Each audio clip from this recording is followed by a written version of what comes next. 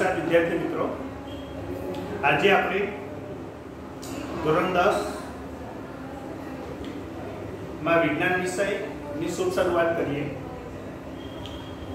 ધોરણ દસમાં વિજ્ઞાન વિષયની અંદર શરૂઆતના એકથી પાંચ પાઠ છે. એ રસાયણ વિજ્ઞાનના છે. મોટાભાગે સરખા ગુણાંકનની અંદર, એટલે કે તેત્રીસ માર્ક્સની અંદરથી પાંચ માર્ક્સનું રસાયણ વિજ્ઞાન પૂછાતું. જો વિજ્ઞાનની અંદર પાયાની સમજ મેળવીએ, તો આપણને એના જવાબ લખવા, કોઈ પણ પ્રશ્નના ઉત્તર આપવા બહુ સરળ પડી જતા હોય છે. આજે આપણે શરૂ કરીશું. પ્રકરણ એક, રાસાયણિક પ્રક્રિયાઓ અને સમીકરણ. સૌથી પહેલા આપણે સમજીશું કે રાસાયણિક પ્રક્રિયાઓની સમજ રાસાયણિક પ્રક્રિયા એટલે શું? એ એના વિશે આપણે જાણીએ. કે રાસાયણિક પ્રક્રિયા, જેમ કે આપણે રોજિંદા જીવનમાં જોઈએ, તો રોજિંદા જીવનની અંદર રાસાયણિક પ્રક્રિયા આપણા દૈનિક જીવનમાં દરરોજ સમય સમયે બનતી હોય છે. પણ આપણે આપણા ધ્યાનમાં હોતી નથી. આપણા રૂટીન લાઈફની અંદર પણ પ્રક્રિયાઓ બનતી હોય છે. હવે જે પ્રક્રિયાઓ જે છે, એ બે સ્વરૂપમાં હોઈ શકે. એક ભૌતિક સ્વરૂપ હોઈ શકે, જેમાં રંગ, તાપમાન, ગુણધર્મ બદલાતા આપણે જોઈ શકીએ. એક પરિવર્તિત સ્વરૂપ પણ હોઈ શકે. એટલે એક સ્વરૂપમાંથી બીજા સ્વરૂપમાં રૂપાંતર થાય, એ પ્રકારની પણ હોઈ શકે. જેમ આપણે જોઈએ કે આપણે રોજિંદા જીવનમાં જુઓ કે સામાન્ય લાઈફમાં ઉનાળામાં ઓરડાના તાપમાને દૂધને ખુલ્લું રાખતા. આપણે સમજી શકીએ કે ઉનાળો હોય, ગરમીની સિઝન હોય અને આપણા રૂમ ટેમ્પરેચર એટલે કે રૂમમાં આપણે દૂધને ખુલ્લું મૂકી રાખો તો તમે જોશો કે આપણી ભાષામાં કહીએ તો દૂધ ફાટી જાય, એટલે કે દૂધ બગડી જાય, દૂધ ખાટું પણ થઈ જાય.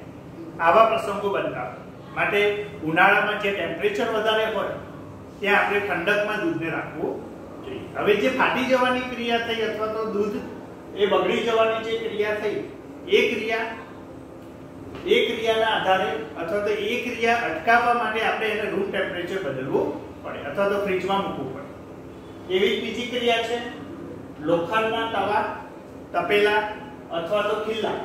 ને વાતાવરણમાં ખુલ્લા રાખવા. પરિણામે શું થાય? કે લોખંડને વાતાવરણની અંદર વાતાવરણની અંદર એટલે લોખંડને ઓક્સિજનના સંપર્કમાં, વાતાવરણમાં ઓક્સિજન હોય એના સંપર્કમાં રાખતા અથવા ભેજવાળા વાતાવરણમાં રાખતા એ એની ઉપર ઓક્સાઇડનું પડ લાગે. ઓક્સાઇડનું પડ લાગે, પરિણામે એનો રંગ પણ બદલાય અને એની ઉપર કાટ ચડવાની પ્રક્રિયા થાય. એટલે કે ઓક્સાઇડનું પડ ચડી જાય. એમ લોખંડના તવા તપેલા અને ખીલ્લાને વાતાવરણમાં ખુલ્લા રાખતા એનું રૂપાંતર થાય એટલે ભૌતિક સ્વરૂપ બદલાય, રાસાયણિક પ્રક્રિયા થાય. એ જ રીતે દ્રાક્ષનું આથવણ.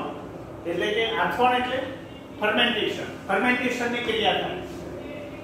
તો દ્રાક્ષનું આથવણ થાય, તેનું ફર્મેન્ટેશન થાય, પરિણામે એનું રૂપાંતર શામાં થાય? તો આલ્કોહોલ આપણે એવું કહીએ કે દ્રાક્ષનો, દ્રાક્ષમાંથી આપણે બિયર અથવા તો આલ્કોહોલ બનાવી શકીએ. તો એનો આઠવણની પ્રક્રિયા કરીને બનાવી શકાય. તો એક સ્વરૂપમાંથી બીજા સ્વરૂપમાં રૂપાંતર થઈ રહ્યું છે એમ આપણે કહી શકીએ.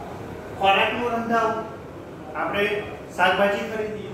શાકભાજી લાવીશું તે કાચા શાકભાજી હશે એ કાચા શાકભાજીને સાફ કરી, ધોઈ અને આપણે એને પીસ કરી અને આપણે એને શું કરીએ છીએ કે પાણીમાં નાખી અથવા તો તેલમાં નાખી અને એને વગાડીએ. ધેટ મીન્સ ખોરાકને આપણે રાંધીશું.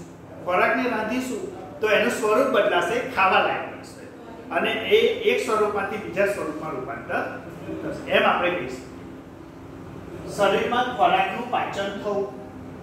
આપણા શરીરની અંદર આપણે ખોરાક જે સ્વરૂપે લઈએ છીએ, એ ખોરાક આપણા જઠરમાં જાય, જઠરમાં બધા રસો પડે અને આખી પ્રક્રિયા થઈ આંતરડામાં જઈ અને એનું પાચન ખોરાકની અંદર કાર્બોહાઈડ્રેટ પ્રોટીન લિપિડ ચરબી વિટામિન્સ ખનિજ દ્રવ્યો, આ બધા જે તત્વો રહેલા હોય, એ બધા જ તત્વોને એ શોષી લેશે. એટલે એનું પાચન થયું એમ આપણે કહી શકીએ. એ પાચન થશે એ ખોરાકનું પાચન થયું, એક સ્વરૂપમાંથી બીજા સ્વરૂપમાં રૂપાંતર. તો એ ભૌતિક સ્વરૂપ એનું બદલાયું. બે પ્રકારે થાય, ભૌતિક સ્વરૂપ અને રાસાયણિક સ્વરૂપ. શ્વાસ લેવો. આપણે શ્વાસોશ્વાસની ક્રિયા કરીએ છીએ. એ પણ એક પ્રકારનું સ્વરૂપ છે. એમ, આપણે એવું કહી શકીએ કે રોજિંદા રોજિંદા જીવનની અંદર પણ રાસાયણિક પ્રક્રિયાઓ અગત્યનો ભાગ ભજવે છે. એ જૈવિક સ્વરૂપે પણ હોય, રાસાયણિક સ્વરૂપે પણ હોય અને ભૌતિક સ્વરૂપે પણ હોઈ શકે.